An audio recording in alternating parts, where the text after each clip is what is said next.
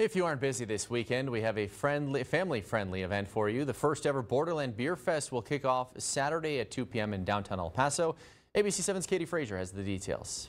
Lagers, IPAs, or ales, whichever you prefer, there will be more than 100 different varieties of craft beers at this Saturday's Beer Fest. Dead Beach Brewery is a local brewery sharing the unique flavors of El Paso. And this Saturday will be like the Super Bowl of beers, wines, and more in Texas. Dead Beach on its own will have 30 different brands available for people to taste. Um, plus, we do have our 20, 21 other friends that are going to be by um, bringing their own showcases. They're each bringing about three beers, so we're going to have really close to 100, if not over 100 beers available on Saturday. And if you like red beer in particular, you are in for a treat. Uh, one of the cool things that uh, we're going to offer this time around is our Toma. So if you're not familiar with Toma, it is our house red beer.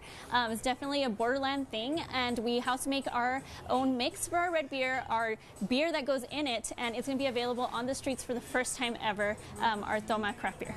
And several other specialty brews will be available for beer lovers alike. If I were to pinpoint the reason why you should come is because you know supporting local is huge. It's not only a Dead Beach event. We have invited all of our local craft brewery friends from around town to participate. So you can see people like Aurelia's, Sheepdog, Flicks Brew House. We have everyone coming by. We're all putting this together so that everyone knows what beer is all about. If you like to support local businesses and especially ones that make brews, the Borderland Beer Fest will be the event for you.